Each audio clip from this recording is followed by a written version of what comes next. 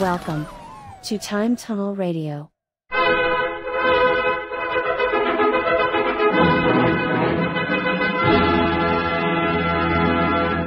This is the big one. Watch out for it. It's coming your way. It's coming soon. Don't miss it. Yes, it's coming now. It's here.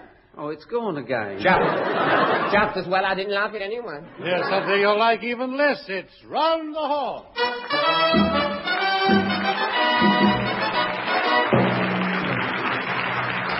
Well, hello again. As everybody knows, today is Smear a Traffic Warden in Bloater Paste for Asia Day. and to commemorate it in fitting style, London has pulled out all the stops. There's Spotted Dick crouching at All Hallows Without. There'll be the all-comers Paso Doble jockey wagging at the five-minute hippo wash in the coal shed at Lord's, while the over-80s nudist trampoline team will be holding their annual hedgehog squat.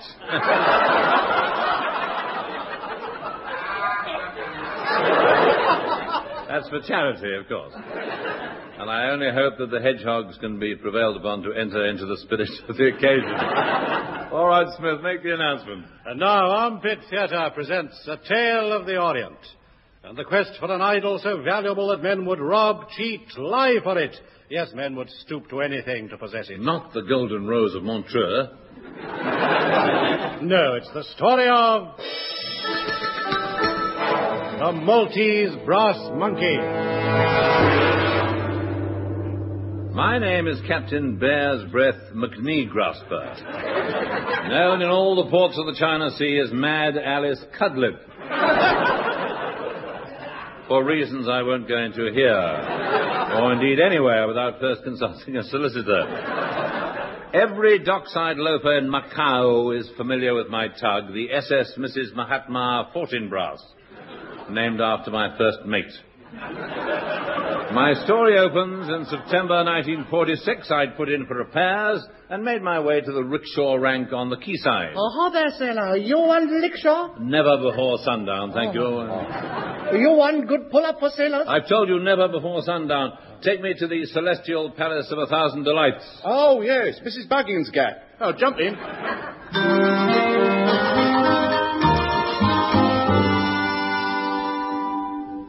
Welcome to the Hotel of a Thousand Delights. what can I do for you? Well, I want a single delight with bath. Certainly, sir. Follow me. Anything I can do for you, please ring.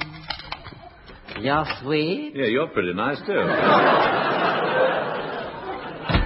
it was good to be ashore. I hadn't felt my legs on land for a long while. Or anybody else's, for that matter. I undressed and lay on my bed looking up my Baedeker.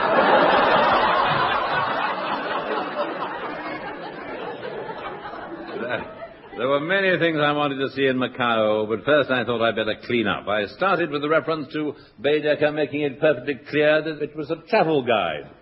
Then I stepped into the shower. Suddenly I felt something in the small of my back. I turned. I was looking down the muzzle of a Mauser. This pussycat is loaded. One false move and you get it, Captain Bear's Breath McNee Grasper. How did you know my name? Just a lucky guess. Oh. Come, follow me. He pressed his top waistcoat button and a secret panel in his riding breeches swung open. Follow me. He said and disappeared through it. I followed down his leg and into his boot. I should point out they were very baggy riding breeches. Soon we emerged into the light and I found myself in a large antechamber. There in front of me, sitting on a vast carved throne, was a huge, impassive Buddha-like figure. He sniffed a grape and nibbled an orchid. Greetings. My name is Lo Min Sing. Yes, I've seen you mincing along the waterfront. Welcome to my humble abode, Captain McNee Grasper. You know my name? I know all about you. Educated at a country parsonage in Haifa, a first at Cambridge, a second at Oxford, and a third at Kempton Park.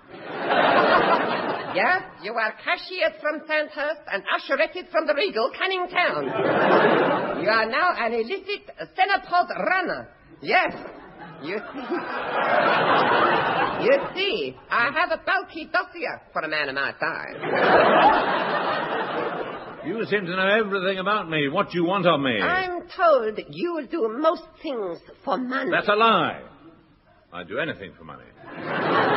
Would you even steal the Maltese brass monkey? The Maltese brass monkey? It's here? Yes, here in Macau. In Macau? Yes, Macau. Follow me in here. Why did you bring me in here? To get away from that flaming orchestra. now, listen. Listen. Now, listen to me. If you can bring me the Maltese brass monkey, I shall pay you a vast sum of money. But I must have it tonight. What? The Maltese brass monkey. Oh, get out, Braden. now then, Mincing, uh, what are you going to do with the, uh, you, you know what? I have friends in Moscow. They will pay me well for it. But I must get the brass monkey there before the cold weather. Well, I'm your man.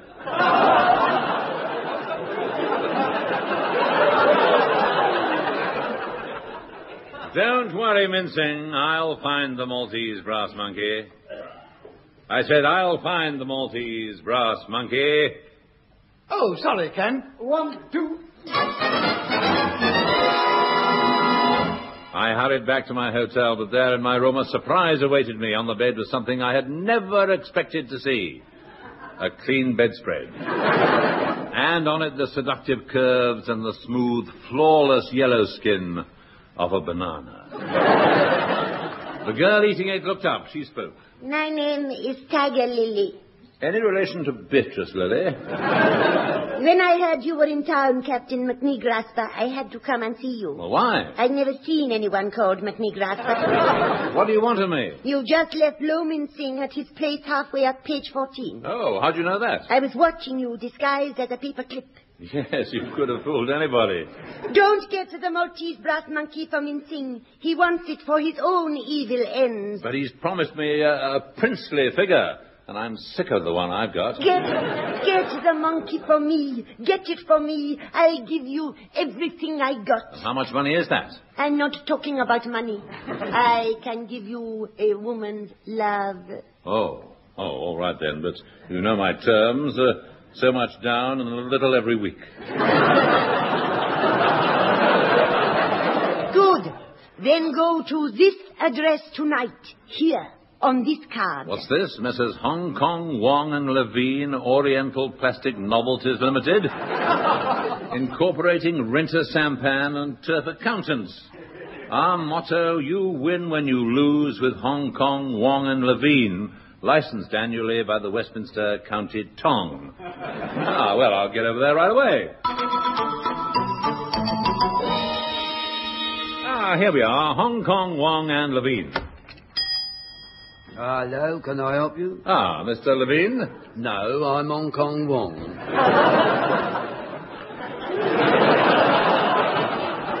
if you think that's ridiculous, you should see Levine. Did I call him? No, it's you I've come to see, Hong Kong Wong. Well, in that case, may I offer you the traditional Oriental greeting? May the celestial radiance shine on you. May your concubines be fruitful and be a delight to you in the sunset of your life. My life already. More I cannot wish you, and well over the fast. And the inscrutable Oriental bowed and disappeared into the back of the shop, returning shortly with the traditional teacups. So sit down, have a cup of tea. You fancy perhaps a piece of cheesecake? Gefilte chop suey? Sweet and sour matzo balls? No, I just had some, thanks so much. Um, let's get down to business. I want the Maltese brass monkey. Brass monkeys he wants. Brass monkeys I ain't got. How about the nice Maltese brass orangutan? I've got a glut of them. No, thank you. It must be the Maltese brass monkey. I'm willing to pay well. Hmm. I'll come back midnight. I might be able to help. Ah. It's going to be difficult. It's going to be dangerous. But I'll do me best.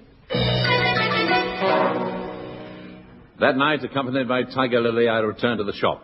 It was in darkness. We lit a joss, and in his flickering light we saw a crumpled heap. It was Hong Kong Wong. Is he dead? Yes, I'm afraid someone's done Wong. And look! look, look! The safe has been ransacked. Yes, whoever killed Wong has got the Maltese brass monkey. What's that? I looked around me. In the flickering light, the grotesque shadows danced, accompanying Cliff Richard, of course. then suddenly a huge chopper flashed in the gloom and buried itself in the woodwork by my head. Look out! Look out, Captain McNeeglasper! But it was too late. My assailant came at me with a curious oriental gait. He leapt over it and hung one on me. Ah, what do you think? Well, it looked better hanging on you. You've got the neck for it. I warn you, I am an expert in karate. I'm a black belt of the second Dan. You mean? Yes, I'm Dan, Dan the karate man. He grabbed my lapels in judo fashion. Hmm, nice bit of smatter. Hong Kong Wong, you and alive. If you can call this living. but I'm not Hong Kong Wong. I am Min Sing Zaid, Camp Chiki. He came at me, swinging with his handbag. I threw a punch at him. He retaliated with a judo throw. We went at it, punch and judo. then, with a quick gesture, he threw me two feet in the air. Then, with two elbows and my head. He juggled them deftly. Do what? Don't worry, he's as deft as a post. I'm going to let you have it. Are you sure? Yes, I finished with it. Oh, it's nice. What is it? A right hook. Ow! And he collapsed in a bundle on the floor, tied himself up with string, and posted himself to the house of Mincing. And we followed by the next post. Ah, so, Captain McNeegrasper, we meet again. Yes, you fiend. Ah. I know now you've been using me as a cat's paw. That wasn't the part of the cat I had in mind. off with his head, and then off with the rest of Not him. so fast. I have a loaded question here, and I'm not afraid to ask it. Yeah, you wouldn't, you would not dare. Oh, wouldn't I? Here goes. Have you ever had an embarrassing experience? Yes, Wilfred, I was in the Gordon Islanders. you see, I was in the Gordon Islanders, you see, and one day I was going up the stairs of this of this bus when this woman with a French loaf. Yes, yes. yes. All right. All right, give him the money, Mabel. Yeah, yeah. Uh, what what's in the jackpot? There's half a Welsh rabbit, six sixpence a piece pudding, a Queen Scout's woggle, and the Maltese brass monkey. Well, grab it and run. Right. Yes. No, not the peas pudding, the brass monkey. Now, run. Ah, come back! Stop! Stop that cheating, you I can't go much further. Never mind, we're nearly at the harbour. There's a junk waiting for our getaway. But there are so many. Which one? Which one? Well, it doesn't matter. You can get away with any old junk around the Horne.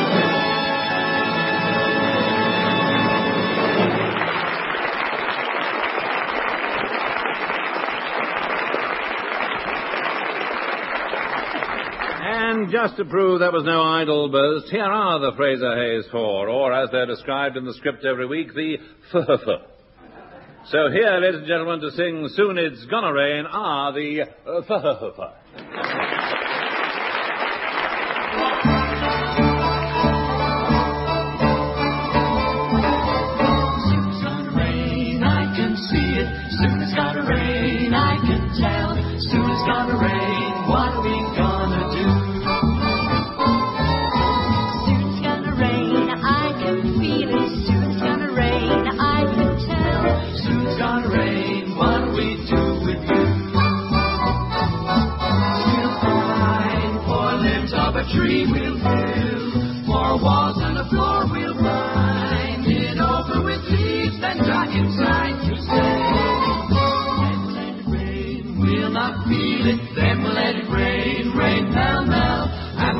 Complain if the death stops at all.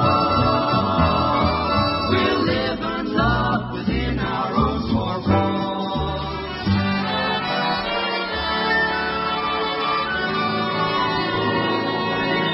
Hear how the wind begins to whisper. See how the leaves go streaming by. Smell how the velvet rain is falling out where the fields are warm and dry. Now is the time to run inside and stay. Now is the time to find a hideaway where we can stay.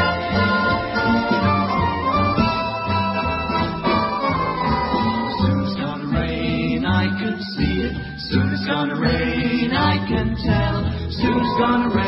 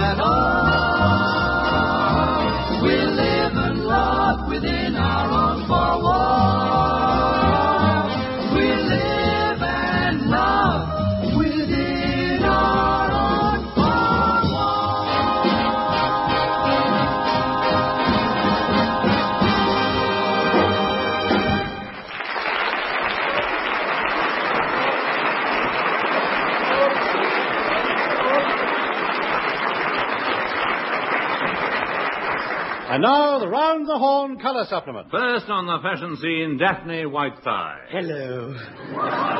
Uniforms are still high fashion, and anyone who wants to be in the forefront is wearing one. I had a letter recently which said, Dear Daphne, the other night I put on my old military uniform and tagged along with the crowd in the King's Road, similarly dressed.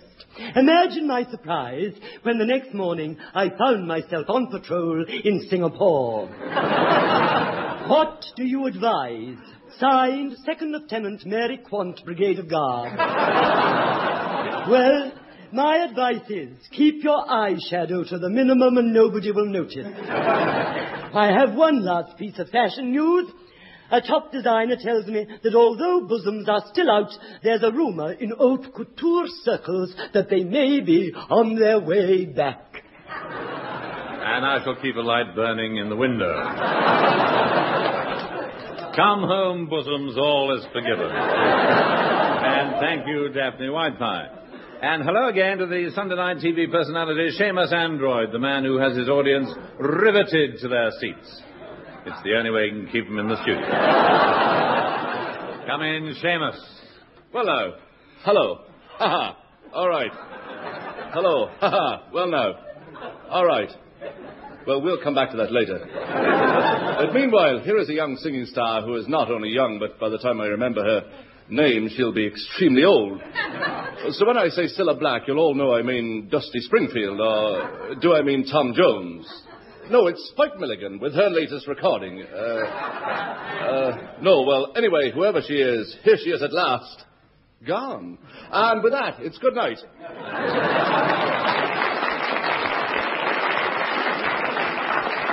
Thank you, Seamus Android. Now, the colour supplement turns its attention to English and animals. It's often said, and with justification, that the English love animals. Nothing delights the English heart as much as a little lamb.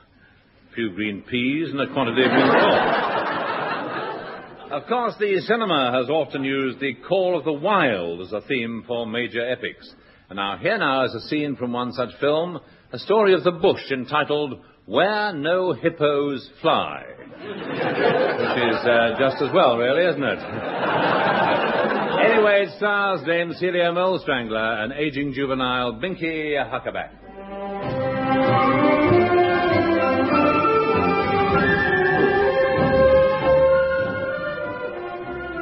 Oh, Charles, Charles, I'm frightened. Steady, old girl. You can smell fear. Are you, are you sorry you brought me out here? To the bush? Yes, I know the bush is no place for a woman, but we've been happy here, haven't we? happy, Charles. Who knows what happiness is? It's giving and taking and having and holding and loving and needing and wanting and feeling.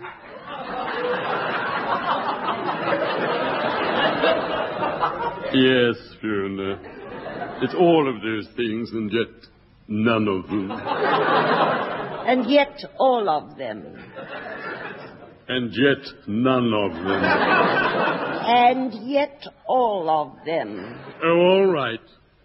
Some of them. Charles, are we safe here in the bush? Quite safe. But look, look over there. There's another of those creatures. Uh, he's an ugly brute. Look at that snout on him. Those little red eyes. Don't move. I think he's seen us. Oh, Charles. Don't worry. I'll take care of him. Stand your ground. I think he's going to charge us. Good evening, Constable. Just leaving the park. Come along, Fiona.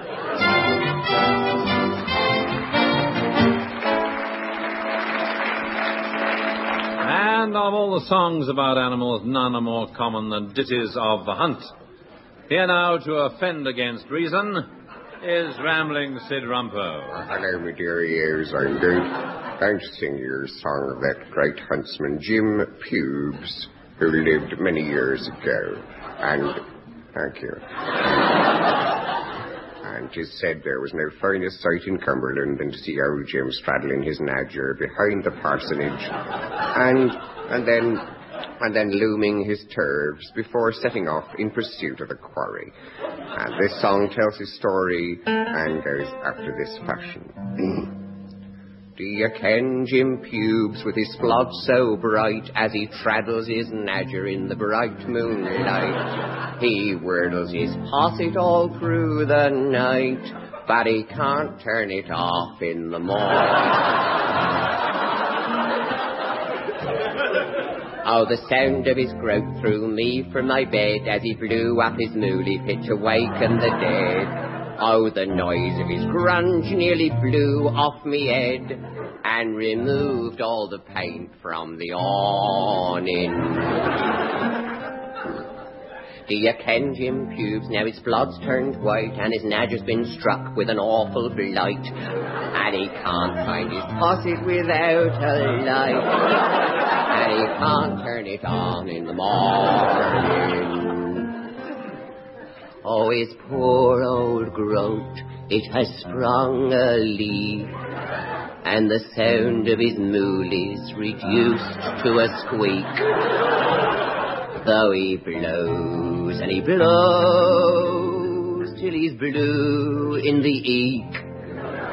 We'll no more hear him grunge in the morning.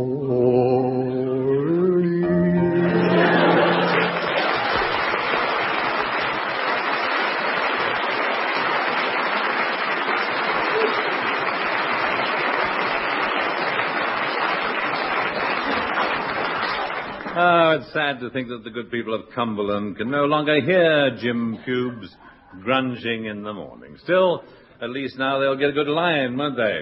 You know, I always thought that fox hunting was the prerogative of the wealthy few, so I was amazed when I saw an advertisement in my copy of Peekaboo Corset's Pictorial. well, I buy it for the Spot the Ball contest.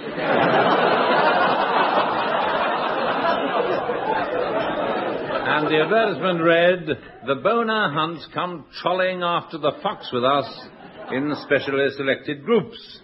Well, it sounded just what I wanted, so I hurried over to the address in Carnaby Street as fast as my lallies would carry me. Hello, anybody there? Oh, hello, I'm Julian. This is my friend Sandy. Oh, hello. Oh, it's Mr. Owen.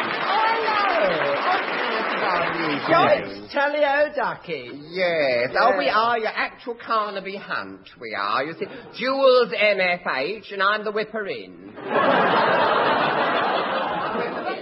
yes. Yes, and uh, Yes. Uh, very nice you look too now. Yes. Mm. How mm. many of you are there in the hunt? Mm. Oh, what's just saying to me so far? And of course, Reynard. Oh, the fox. Rain- no, Ducky, no. Reynard Lispoon, the choreographer. He's a close personal, isn't he, Jules? Oh. Close. Oh, very close. Very anti-me. Very anti-me.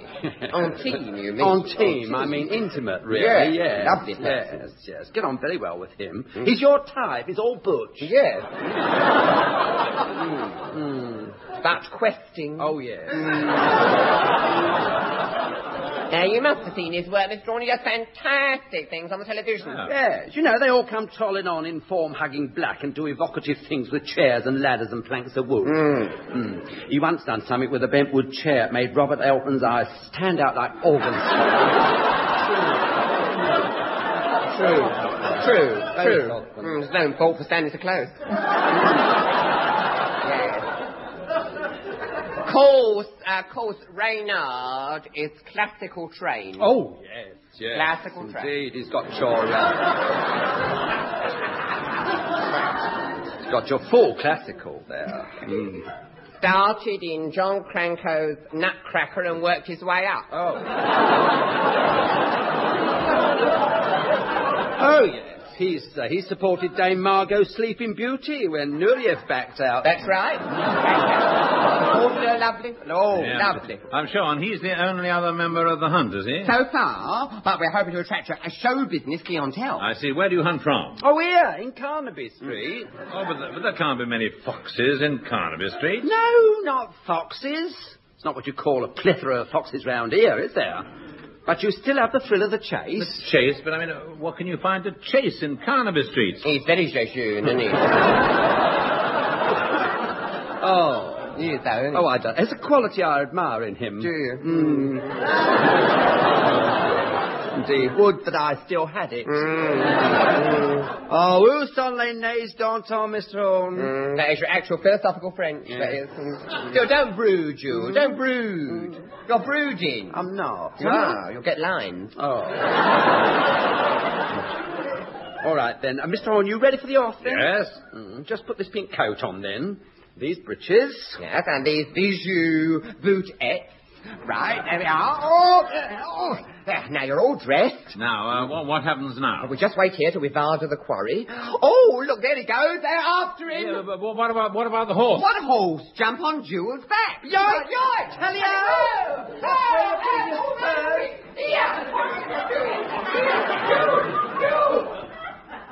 And we uh, we chased the ginger furry creature down the road. Unfortunately, it turned out to be Mick Jagger in a fun fur. He went to Earth in a gents' boutique calling itself the Gay Hussar, and I didn't have the nerve to go in after him. Jules and I were merely hanging about on that street corner trying to pick up another cent when the policeman came along. and that, gentlemen of the jury, concludes my speech for the defense.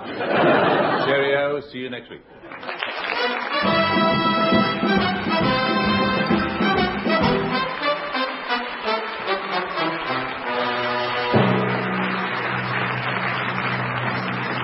That was Round the Horne, starring Kenneth Horne, with Kenneth Williams, Hugh Paddick, Betty Marsden, and Bill Pertwee. On the musical side, you heard the Fraser Hayes Four and Edwin Braden and the Hornblowers. The script was written by Barry Took and Marty Feldman, and the program was produced by John Simmons.